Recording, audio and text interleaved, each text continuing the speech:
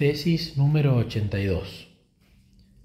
Jesús fue tentado a hacer el bien, pero apoyándose en su propia fuerza, y lo mismo nos sucede a nosotros.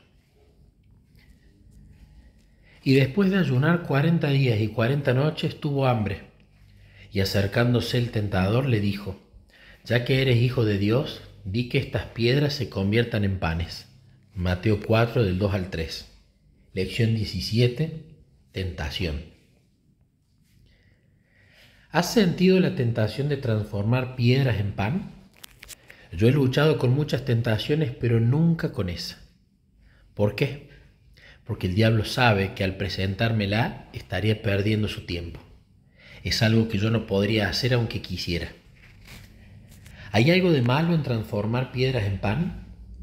¿Es malo sentir hambre cuando no se ha comido durante seis semanas? Más tarde, durante su ministerio y bajo la dirección de su Padre, Jesús multiplicó los panes y los peces mediante un poder sobrenatural y alimentó a una multitud que había ayunado desde el desayuno. El diablo no tentó a Cristo para que transformara las piedras en dulces de chocolate ni en ricos helados de crema. Lo tentó para que transformara las piedras en pan, y eso suena como una muy buena idea cuando uno no ha comido nada durante 40 días y 40 noches. Todas las tentaciones que el diablo le presentó a Jesús para desviarlo de su misión tenían un denominador común. Cada una estaba preparada de tal modo que Jesús dejara de depender del poder de su Padre y comenzara a confiar en las fuerzas con que había nacido. Para Jesús, los pecados eran repulsivos.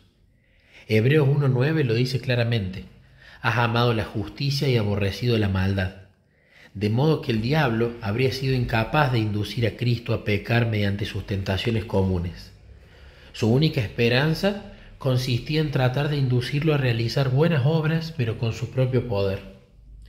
En las tesis 90 a la 94 consideraremos más detalladamente la naturaleza de Cristo pero a lo menos necesitamos lo siguiente para comprender el tema de la tentación. Jesús no fue tentado a cometer malos actos, sino que fue tentado a hacer lo bueno, pero a hacerlo con sus propias fuerzas. Nosotros también somos tentados del mismo modo. En Apocalipsis 3 del 14 al 22 se registra el mensaje para la iglesia de la Odisea. A la Odisea no le faltan las obras, pero adolece de una falta de relación con Jesús. A Jesús se lo presenta fuera de la puerta, golpeando para que lo dejen entrar. Los laodicenses necesitan arrepentirse de su pecado, no de sus pecados. Han estado llevando una vida inmaculada separados de Cristo.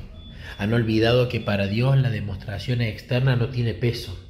Las formas externas de la religión sin el amor en el alma son completamente inútiles. Elena de White, Comentario Bíblico Adventista, tomo 7, página 958. La Odisea es una iglesia llena de gente fuerte que no experimenta la necesidad de un Salvador. Pero el versículo 21 contiene buenas noticias para la Odisea, una promesa para el vencedor. ¿Y cuál es el método para vencer? Podemos lograr la victoria de la misma manera en que la obtuvo Cristo. Asimismo, como Cristo dependió de un poder que estaba por encima de él, en lugar de apoyarse en sus propias fuerzas, también lo podemos hacer nosotros. Satanás tratará de vencernos de la misma forma como trató de vencer a Cristo. Y todos estamos dolorosamente conscientes de que a menudo logra distraer nuestra atención del Salvador. El diablo no se acerca a nosotros para preguntarnos si nos interesaría cometer un pecado vergonzoso.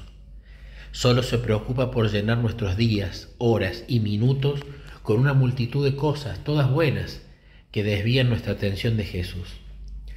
Trata de mantenernos todo el tiempo demasiado ocupados como para tener comunión y compañerismo con Cristo. A Él ni siquiera le importa si estamos ocupados trabajando para la iglesia. Le basta con que estemos demasiado ocupados como para dedicarle tiempo al Señor Jesús. Eso es todo. A Él no le preocupa que usted haga cosas buenas mientras te dediques a hacerlas con tus propias fuerzas. Pero se nos ha puesto en guardia acerca de este peligro. Jesús no vino únicamente para morir por nosotros, sino que vino para enseñarnos a vivir. Vino para mostrarnos cómo resistir las tentaciones del enemigo y su empeño de separarnos de nuestra relación con Dios e inducirnos a depender de nosotros mismos. Cuando comprendamos el verdadero significado del pecado y la tentación, habremos comprendido dónde se halla nuestra fuerza. A medida que rehusemos separarnos de nuestra dependencia de Cristo, aunque sea por buenas razones, seremos vencedores mediante el poder de Dios.